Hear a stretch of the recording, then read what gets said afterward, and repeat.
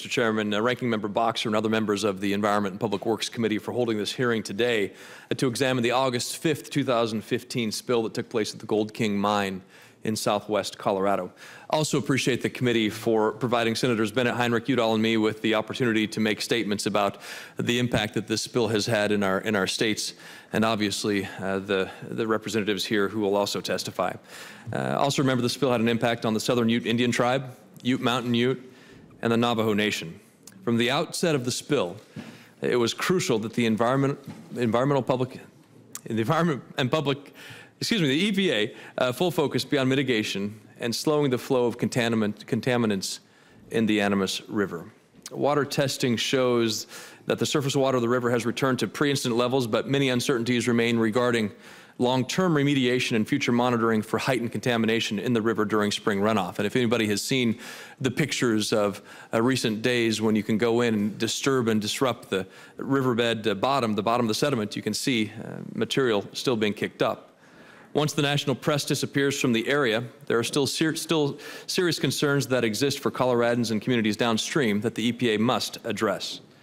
Although the EPA has acknowledged the magnitude of this crisis, its initial lack of communication and coordination in events leading up to and following the spill are suitable for congressional oversight.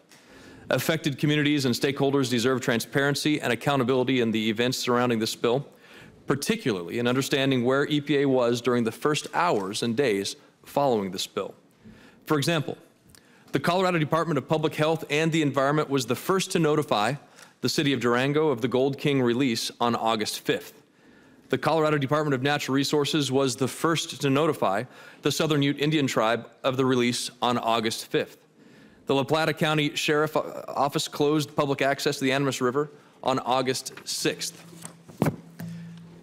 The questions that we must ask today, where was the EPA during this initial notification and closure of the river? Did the agency follow national contingency plan for notification and implementation of its response on this disaster?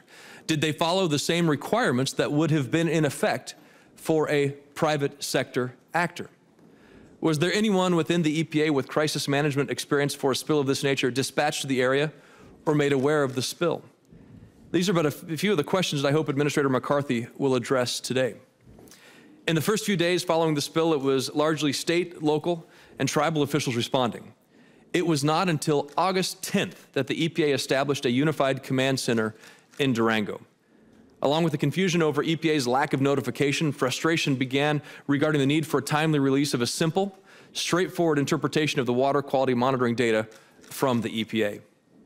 My personal experience with the EPA's response mirrors that of local communities. No one from the EPA attempted to contact me until days after the spill. Upon first learning of the spill, I attempted to speak with the administrator but was told she was unavailable. After pushing back on the EPA and requesting answers, I was told the regional director would contact me, and that call came several hours later. I visited the spill site on August 9th with Senator Bennet. This was four days after the 3 million gallons of contaminated water was released, and yet the EPA did not yet have an appropriate crisis response plan or team in place. In fact, it was that uh, Sunday morning briefing uh, where we were sitting with the EPA officials who couldn't answer basic questions including how much water at that point was still leaking into the river. From the outset, I've said that the EPA should be held to the same standards as EPA would hold a private company uh, for the spill, which means investigations must be conducted, people must be held accountable, and tough questions must be asked. And when those questions get asked, there must be answers.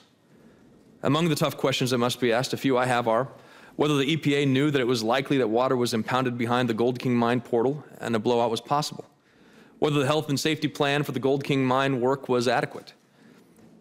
Why did it take several days for the EPA to revise the amount of contaminated water? The agency initially said the amount was, uh, I believe, 1 million gallons, and several days later said the surge consisted of 3 million gallons. What data does the EPA have on the total amount of acid mine drainage within the upper Animas Basin? How long has the agency been tracking the drainage and publicly measuring it? Mr. Chairman, before concluding, I request that the statement of Mr. Michael Olguin, uh, a Southern Ute Tribal Council member, be included as part of my testimony for today's hearing. Without objection. Uh, Councilman Olguin will be testifying this afternoon in front of the Senate Indian Affairs Committee on the Gold King mine spill. Uh, Lastly, I thank you, Mr. Chairman, and your staff for being responsive during this time. And while this hearing is to examine this incident and EPA's response, this bill shows a greater need for legislation that would allow Good Samaritans the opportunity to assist with cleaning up these abandoned mines across the West. I hope we can continue to work together on this effort, and I know the four of us have done uh, that so far. I thank you again for the opportunity to be here, and I look forward to hearing the EPA's answers as we continue to work together to address this very serious situation. Thank you.